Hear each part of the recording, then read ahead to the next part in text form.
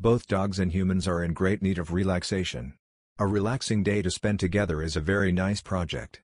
Spend a whole day in slow motion, without stress and without pressure, just to rest and enjoy the good things in life. And when you have a dog, it's even better, because they too need some moments of relaxation from time to time.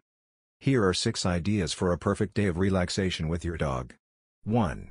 Take a day off. This is the most obvious thing to do if you really want to relax, don't go to work. Ask for a day off, this will allow you to make the most of it with your dog. 2. An outdoor nap, if the weather allows it, in the event of a heat wave, avoid doing it between the end of the morning and 4 p.m., take a good nap for 2 outdoors. There are many places where you can take a daytime nap, depending on where you live. 3.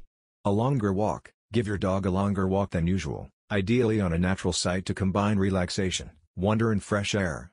Walking can be a good way to start physical activity. All the elements and objects encountered in your walking environment can serve as a pretext for play and physical activity. For example, walk and jump along a small ravine. Hike with an improved route between stones and trees. Run up the stairs. Run in a public park. Play with a tree branch. An extended game of catch or fetch. Or even hide and seek. 4.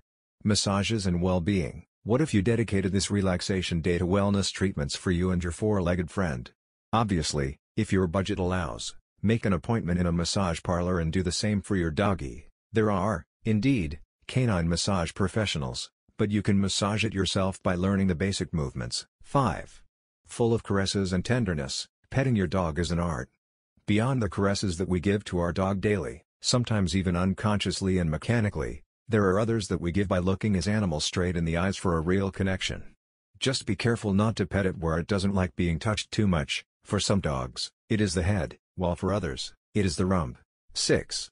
Cocooning, you can simply spend your day relaxing at home, doing nothing, enjoying the comfort of the sofa and watching TV with your dog on your lap. Offer them some treats, without overdoing it, and let him know how much you love them. Thanks for watching, please like my videos, and subscribe my channel. Don't forget to press the bell icon.